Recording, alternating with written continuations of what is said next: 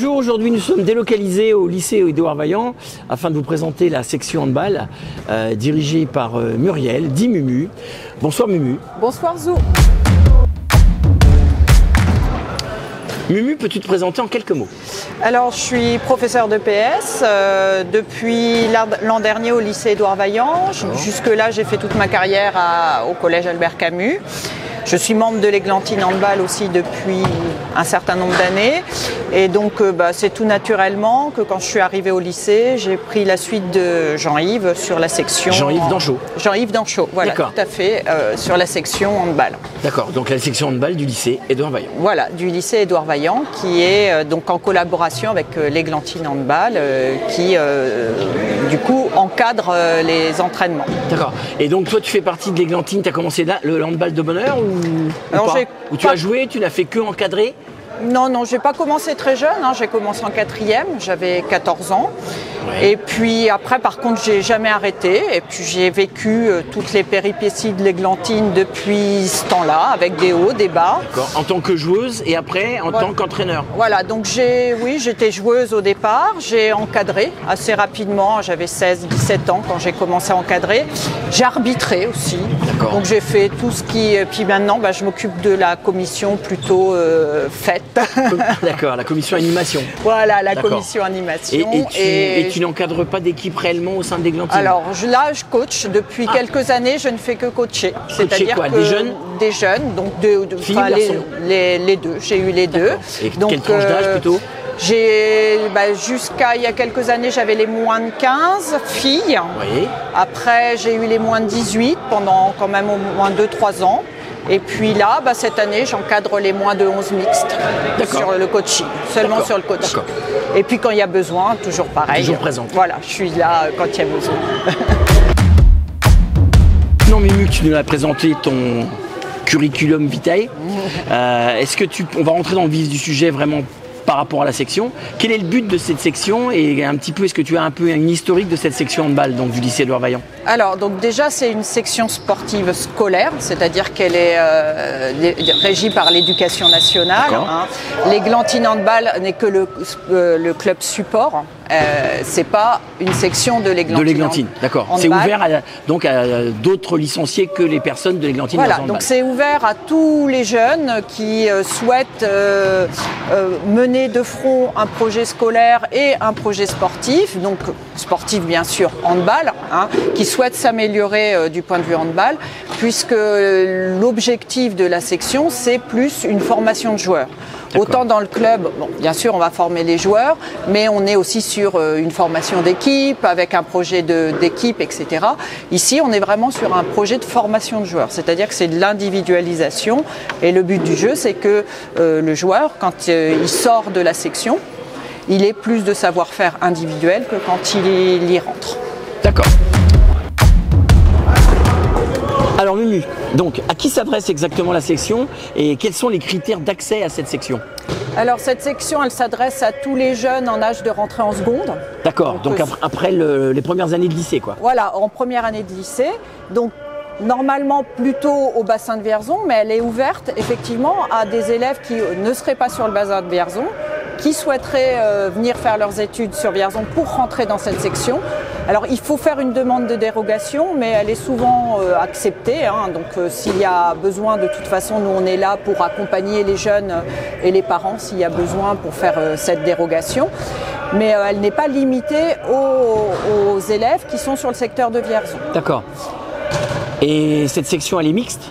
Alors, elle s'adresse aux garçons et aux filles, elle est mixte, puisqu'on est sur de la formation de joueurs, donc il n'y a, pas, euh, il n'y a pas de problème de mixité. hein. L'organisation se fait euh, euh, au niveau de- de- des entraînements, elle se fait euh, sur les niveaux, etc. Donc tout le monde peut participer, quel que soit son niveau, ou fille, garçon, peu importe. D'accord. Et donc il y a une convention euh, avec des lycées euh, autres que Vaillant. Euh, le- bon, on a compris que les Glantines Vierzon Handball était entre guillemets le club satellite, un petit peu porteur de, de ça. Mais est-ce qu'il y a des conventions avec d'autres lycées sur, sur Vierzon à part Alors- Vaillant? Alors, on a une convention avec le lycée Brisson, donc euh, en fonction des, des objectifs scolaires des enfants, des jeunes, enfin des, des jeunes, hein, plus que des Oui, enfants, plus que des enfants, des jeunes ados, Ouais, les jeunes ados euh, qui souhaitent venir faire ce projet un petit peu sportifs. Euh, si ils ont des objectifs un peu plus industriels et qui souhaitent aller au lycée Brisson, il n'y a aucun problème. Donc nous, au lycée Vaillant, on a des formations générales. D'accord. On a des formations pro dans la vente et euh, euh, dans la ASSP, euh, AEPA.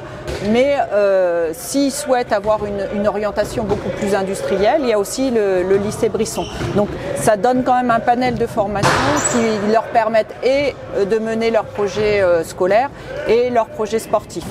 Ensuite, ils ne sont pas obligés de venir se licencier à l'Églantine Handball. Au contraire, hein, euh, le but du jeu, c'est de faire rayonner le hand dans toute la région. Donc, euh, on conseille même aux jeunes de rester dans leur, euh, Dans leur club dans leur club parce que bon, c'est déjà compliqué de venir à l'internat. Par contre, ils sont obligés d'être au moins licenciés dans un club de handball, enfin Voilà. affiliés à la Fédération Voilà. française. Voilà, ils doivent être licenciés dans un club de handball parce que c'est quand même un projet sportif de bon niveau.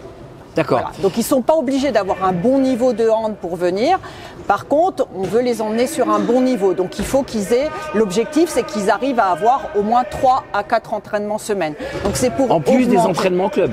Non, c'est Pour ceux deux. qui peuvent. Ah, voilà. c'est deux, deux, deux entraînements section, Voilà. plus après les entraînements Voilà, club. donc le but du jeu, c'est ça, c'est qu'ils puissent progresser sur au moins quatre entraînements, donc deux entraînements club plus deux entraînements section.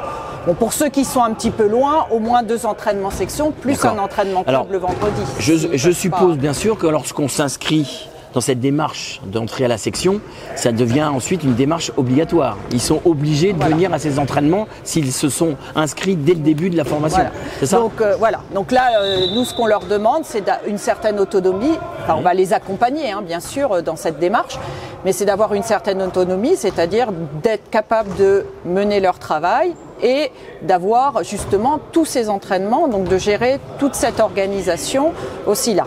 On gère quand même bien la fatigue. hein. On leur demande aussi euh, de s'ils sont fatigués, s'ils sont blessés ou quoi que ce soit, de nous le dire.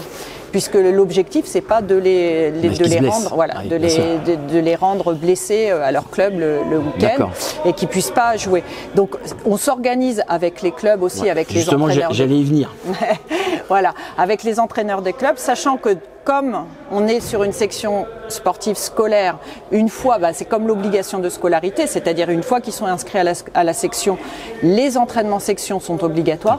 Donc on gère aussi avec les Alors, entraînements clubs. justement, par rapport aux entraînements club, si, malencontreusement, les entraînements section tombent en même temps que les entraînements de club, qu'est-ce qu'on privilégie? La section ou le club? Alors c'est la section. C'est la section. Puisqu'on est sur un système, je vous dis, de section sportive scolaire. Donc après, ça devient une obligation scolaire. À partir du moment où on s'inscrit, ça, vient- ça devient une obligation scolaire. Ok. Alors c'est vrai que les, les jeunes qui sont, euh, enfin eux qui font partie des Glantines Verzon Handball sont externes. Donc, euh, comme tu le disais, euh, vous arrangez aussi avec les entraîneurs donc du club. Et c'est vrai qu'en général, c'est rare que les entraînements section tombent en même temps que les entraînements club. Et pour ceux qui sont internes, effectivement, eux ils vont pas aller s'entraîner dans leur club, ils vont s'entraîner avec la section. Voilà. En général, ils s'entraînent avec la section.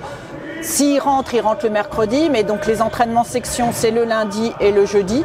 Donc s'ils rentrent chez eux le mercredi, donc ils peuvent s'entraîner euh, avec leur club. Et le vendredi, en général, c'est pour ça qu'on a mis lundi-jeudi, parce qu'en général, ça peut permettre le mercredi et le vendredi d'aller s'entraîner avec son club si besoin. D'accord. Alors au-delà des, au-delà du fait qu'il faut qu'il soit licencié euh, donc dans un club, les modalités d'inscription, il faut certificat médical, ou c'est ça, je veux dire ils n'ont pas besoin de le faire compte tenu qu'ils sont déjà licenciés. Voilà, il n'y a pas besoin de certificat médical, il n'y a plus de besoin parce que jusqu'à un moment donné, on avait besoin d'un électrocardiogramme, il n'y a plus besoin de C'était rien. tous les mêmes tous les trois ans même pendant un moment. Voilà, Enfin, c'était tous les trois ans à un moment donné. Maintenant, il est considéré que si ils ont un certificat médical qui leur permet de faire du sport en club, eh ben ils peuvent euh, participer à la section. Donc euh, il y a juste besoin donc euh, de, de s'inscrire et de, de justifier de son de son inscription en club. D'accord. Voilà. Euh, et je suppose bien sûr, comme ils sont dans le cadre de la scolarité, ça leur permet aussi de faire les championnats UNSS. Voilà. Donc ou on ce leur qu'on appelle les interacadémies ou les académies, parce que moi dans le temps, j'appelais ça comme ça, mais bon, Ouais, ça a ouais. peut-être changé. Non, non, c'est toujours, enfin, c'est académique. Alors, donc, on leur demande justement Et de toujours prendre- mixte? Alors non, là, là, non. En UNSS, donc les équipes ne sont pas mixtes. hein. donc il y a un championnat Garçon et un féminin championnat et un championnat masculin. Donc ils sont inscrits, comme ils sont en section, ils inscrits dans le championnat excellence. Donc on rencontre les sections euh, des autres, euh, départements de, qui existent. Donc pour le moment, on a euh, donc Orléans et Issoudun. D'accord. Donc, euh, Donc, dans le 45 et dans le 36. Voilà, dans le, 35 dans le 36 et dans le 45. Donc il y a euh, donc c'est les deux sections qu'on rencontre. Donc on leur demande d'avoir une licence UNSS puisque on leur demande de participer aux activités du lycée puisque euh, voilà ils ont la- l'avantage d'être en section. On leur demande en contrepartie de prendre leur licence UNSS. Et euh, au niveau de l'ouverture un petit peu sur, la- sur le monde, sur les autres aussi, les autres rôles, on leur demande aussi de venir, donc d'être, on essaye de les faire euh, être un petit peu aussi jeunes arbitres. Ah oui, donc là, important. on a, on a euh, Louis Bloas, là, un jeune arbitre qui l'an dernier déjà est parti faire les championnats de France avec une autre équipe euh, et qui a été euh, qualifié arbitre national. Et cette année, donc euh, pareil, euh, comme le championnat de France junior lycée a lieu à Dreux, on a deux jeunes arbitres, donc Emilien et Louis, qui vont aller euh, participer en tant que jeune arbitre au championnat de France.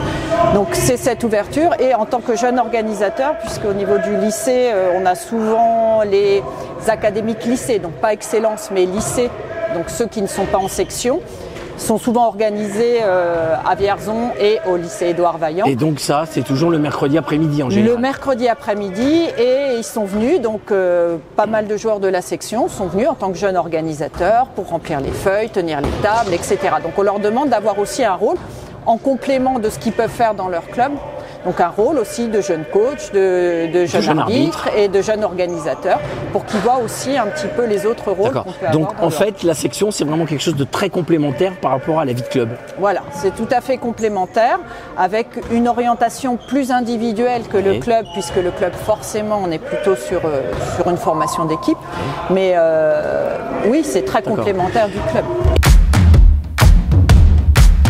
Euh, Mimi, ma dernière question est la suivante. Est-ce que justement pour intégrer cette section, est-ce que les familles doivent euh, payer quelque chose ou est-ce que c'est totalement gratuit? Alors la section est gratuite puisqu'elle fait partie de l'éducation nationale. La seule chose que les enfants, les jeunes ont à payer, c'est la licence UNSS. Oui, qui, qui est très, qui, est très euh, modique. Alors, qui était à 15 euros cette Ah année, oui. qui va peut-être augmenter un petit peu. Mais euh, cette année, voilà. Mais avec euh, IEPS, cette année, donc le- au niveau de, de la région, donc euh, ils ont mis en place le système de IEPS. Ouais. Et la plupart des jeunes n'ont rien payé puisque euh, ils ont 20 euros avec IEPS. Ah bah et oui. que la, la- Et la la licence était à plupart, 15, voilà. donc effectivement. la plupart euh, se sont servis de, de leur IEPS pour payer la, licence et du coup euh, n'ont pas payé. euh, Super. voilà. Eh bien écoute, merci Mumu. Euh, maintenant, on n'a plus qu'à espérer une chose, c'est qu'on ait beaucoup de jeunes qui maintenant, euh, à la rentrée prochaine, intègrent cette section du lycée de Vaillant. Merci à toi. De rien. Bonjour messieurs. Bonjour. Euh, alors donc, euh, aujourd'hui vous êtes avec nous, Euh, vous faites partie donc de la section du lycée Édouard Vaillant. Est-ce que vous pouvez vous présenter en quelques mots? Euh, moi je suis Balu, ça fait trois ans que je suis, à- je suis gardien à la section euh, d'Orléans. D'accord. Euh, je joue à, à Aubin-Sorner. En... En senior ou en moins de 10 ans en, Non, en senior. En senior, ouais, d'accord. en senior. On joue la montée pour euh, la régionale. D'accord. Et puis euh, voilà. Ok. Et ton, ton comparse là, il s'appelle comment? Eh ben bonjour, je m'appelle. Emilien. Ouais. Euh, je suis à la section depuis deux ans, c'est ma deuxième année. Donc seconde première? Voilà, c'est ça. Euh, je suis de Châteauroux, je suis à la SPTT. Oui. Euh, et du coup, euh, bah voilà. Et tu euh, joues quel poste? Je suis arrière gauche. Donc tu es droitier. C'est ça. Normalement. Tout à Si fait. je ne me trompe pas. Tout à fait. D'accord. Ok. Ludo, pourquoi es-tu venu à la section? Bah, pour avoir plus d'entraînement, pour avoir une progression en tant que gardien de but, parce que dans mon club il n'y a pas trop euh, d'entraînement individuel. Et euh, l'entourage qui m'ont euh, qui m'ont influencé aussi. du coup, c'est pour ça que je, je suis venu à la section. D'accord. Et toi, Emilien Euh, je suis venu à la section pour avoir des entraînements tous les jours, pour pouvoir progresser, pour avoir ça en plus euh, d'un parcours scolaire euh, normal, on va dire. Et voilà, je suis très content et ça se passe Et bien. donc, si tout va bien, euh, alors toi, tu es en première. C'est ça. Et toi BTS. Ah, d'accord. Donc, tu as déjà post-bac, toi. Ouais. Ok. Donc, toi, tu vas encore continuer un peu l'année prochaine si tu restes à Vaillant? Voilà, c'est ça, normalement, euh, encore une année. Et puis normalement après le, le bac, j'espère. D'accord. Puis, euh, Ok. Bon bah écoutez, merci messieurs. eh ben, merci Vous à vous. pouvez, je vous laisse retourner à vos affaires. Eh ben, merci. Bonjour les filles. Bonjour Zou. Alors euh, moi je vous connais un petit peu, hein, mais toi Juju, alors, présente-toi s'il te plaît. Alors bah moi je m'appelle Juliette Lantin, euh, donc je suis dans le club donc euh, bah, Églantine Vierzon D'accord. et je joue le poste de demi-centre Dans quelle équipe? Euh, dans l'équipe euh, U18. D'accord. En Voilà. régional. En, régi- en euh, territorial. euh, territorial. D'accord. Voilà. Et, et toi Angèle? Donc euh, moi c'est Angèle Tambou. Oui. Euh, je joue euh, depuis deux ans à l'Églantine Vierzon. Oui. Je suis en National 2. Avant j'étais à Bourges. D'accord. Et J'ai pu venir ici donc euh, voilà. Dans le cadre de tes études, donc c'est pour ça que tu joues à Vierzon maintenant à l'Églantine. Exactement. Et donc avec l'équipe première. Oui, c'est ça. Beau parcours. c'est gentil, merci. Juju, qu'est-ce qui t'a fait venir à la section? Bah moi j'étais pas trop satisfaite de, de mon niveau avec euh, deux entraînements euh, au club et j'ai Ouais. voulu, euh, j'ai comme j'étais à Vaillant, je me suis dit bah pourquoi pas, j'ai appris ça, qu'il y avait une section. D'accord. Je me suis dit bah pourquoi pas tester. Donc, Ton premier entraîneur de la session, c'était qui Jean-Yves Danchot? Ah non, c'était ça a toujours été Ça Pierre. a toujours été Pierre. Ouais, mais j'étais avec bah, les, les plus grands, les 2000, euh, bah, Joyce, j'étais avec. Joyce, etc. Et, euh, et non, j'avais, j'avais vraiment bien aimé, c'était vraiment bien, même si voilà, j'étais pas, bon, mon niveau n'était pas euh, très euh, Mais ça t'a permis, ça t'a permis de progresser. Voilà, ça m'a permis. Donc là, bah, je me suis dit, j'ai continué. En plus, euh, bah, j'ai rencontré Angèle à ce moment-là, donc euh, je suis contente, euh, je suis contente de l'avoir rencontrée et, et de faire la section euh, ensemble et même avec euh, les gens. D'accord. Et ben super justement, Angèle, à toi de jouer. Pourquoi toi tu as choisi la section? Et En plus, quand tu, en venant de Bourges déjà. Oui. Donc en fait, il faut savoir qu'avant j'étais en structure Ouais. et j'ai pas été conservée dans la structure. D'accord. Donc euh, Jocelyn m'a parlé de la Jocelyn section. qui est l'entraîneur de la Nationale 2. Exactement. Et il m'a oui, il m'a proposé en fait bah, que je pouvais faire 5 entraînements par jour avec la section et le club. Et bah du coup j'ai dit oui forcément. Ah, mais génial. Et donc voilà. Et, bah, donc, c'est- et tu regrettes, et tu regrettes pas ton choix, ça Non, t'a permis de pas. rencontrer aussi euh, des filles et des garçons super sympas. C'est vrai, ça c'est vraiment vrai. Donc, Et ben voilà. écoutez, merci beaucoup les filles. Merci à Ah, toi. Merci à toi.